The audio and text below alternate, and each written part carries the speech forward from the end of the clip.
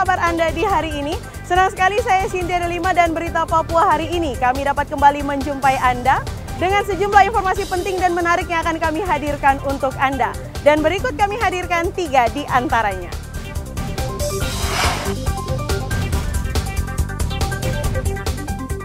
Buronan bentrokan maut di diskotik Double O Sorong ditangkap polisi.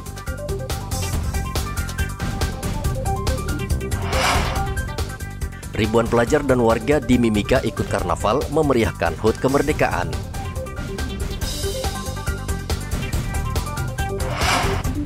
...393 jemaah haji asal Papua kembali ke tanah air.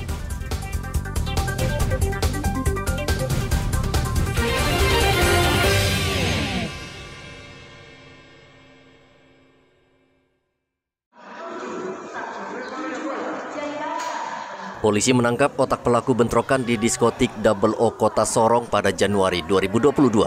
Selama 8 bulan Polda Papua Barat memburu Noval Bugis alias Toto. Noval ditangkap di Kampung Lama, Kabupaten Teluk Bintuni, Sabtu lalu. Toto langsung diberangkatkan ke Kota Sorong dengan menggunakan pesawat komersil Senin kemarin. Kasat Reskrim Polres Kota Sorong Ibtu Ahmad El Syarif Marta Dinata mengatakan, dari keterangan saksi, Toto merupakan aktor intelektual dalam bentrokan berdarah di diskotik Double O ia terancam hukuman penjara 20 hingga hukuman mati. Ketahui yang terjadi Januari uh, kemarin. Untuk tersangka uh, saat ini telah diperiksa penyidikan. Kemudian untuk peran yang tersangka sendiri kemudian? Untuk perannya sementara masih didalami. Iya. Tapi menurut keterangan beberapa saksi yang sudah kita periksa, uh, untuk perannya dia sebagai aktor intelektual. Aktor itu. Untuk ancaman hukuman sendiri kan? Ancaman untuk ancaman hukumannya uh, maksimal uh, seumur hidup uh, paling lama 20 tahun. DPO-nya berapa lama, Bu? DPO-nya kurang lebih dari bulan Januari sekitar hampir 6 bulan. Sama pelariannya di Bintuni berapa lama nih? Untuk pelarian di Bintuninya uh, kita masih dalam dari kapan.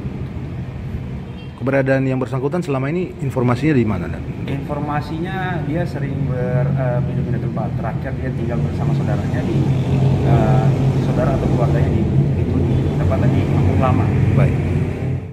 Sebelum melarikan ke Kabupaten Teluk Bintuni sejak Mei 2022, ia sempat hidup berpindah-pindah di kota Sorong untuk menghindari kejaran polisi.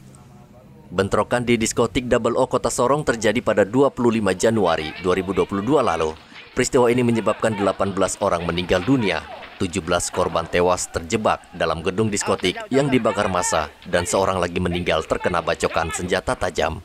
Dalam kasus tersebut, polisi telah menetapkan 18 orang tersangka. Tiga orang di antaranya tersangka pembacokan dan 15 orang lainnya merupakan pelaku bentrokan dan pembakaran. Dari kota Sorong, Papua Barat, Topan melaporkan.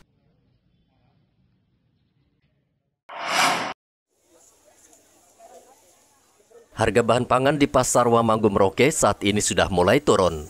Penurunan yang paling mencolok terlihat pada cabai ukuran kecil. Harga cabai ini sempat naik hingga Rp80.000 per kilogram.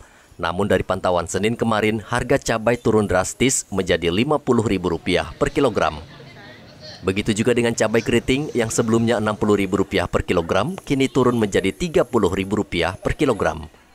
Sementara harga cabai besar turun setengahnya dari Rp60.000 menjadi Rp30.000 per kilogram.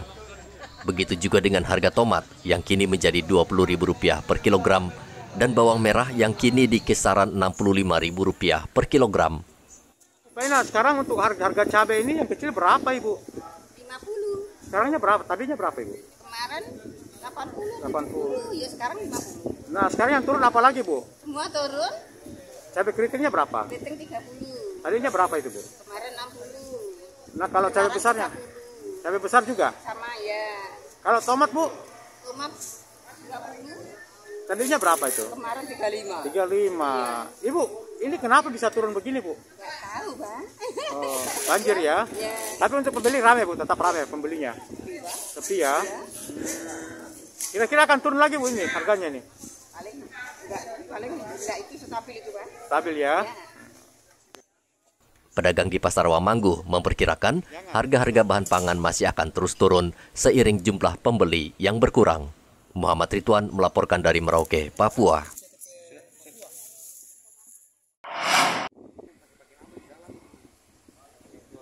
Sekelompok orang kembali mendatangi kantor Dispora Merauke. Mereka menuntut ganti rugi tanah seluas 14.000 meter persegi milik mereka yang saat ini sudah berdiri gedung olahraga Merauke.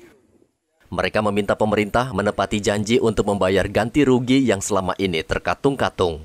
Keluarga pemilik tanah Natalis Yogi bersama pengacara diterima langsung Bupati Merauke Romanus Baraka di kantor Dispora Merauke.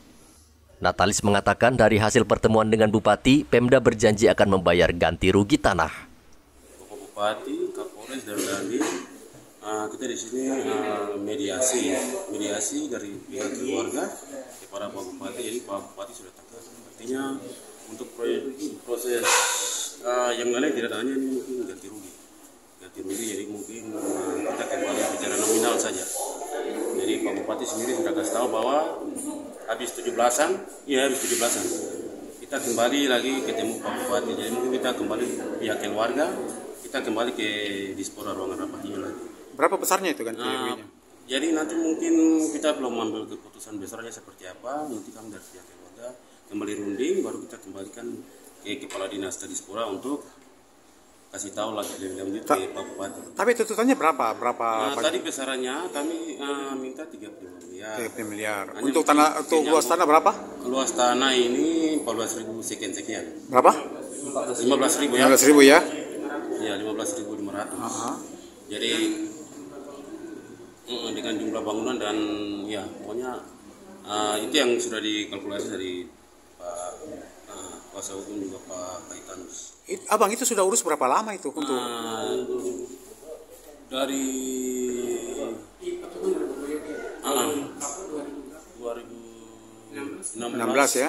Sampai sekarang ini ya? Ah, sampai Sama sekali sama sekali belum terima ganti rugi. belum sam- Sama sekarang ya? Sama sekali belum ada ganti rugi Pihak keluarga belum pernah menerima spesial pun dari pemerintah. belum pernah sama sekali Sejak tahun 2016, Natalis dan keluarga menggugat Pemkap Merauke atas lahan seluas 14.000 meter persegi yang kini di atasnya berdiri kantor Dispora, KONI, dan dua gedung olahraga. Natalis menuntut pemerintah membayar ganti rugi sebesar 35 miliar rupiah, namun selama enam tahun ganti rugi tersebut belum terlaksana. Sebagai pemilik hak ulayat, Natalis dan keluarga mengancam akan menyegel kantor dan gedung olahraga bila Pemkap Merauke tidak menepati janji. Muhammad Ridwan melaporkan dari Merauke, Papua.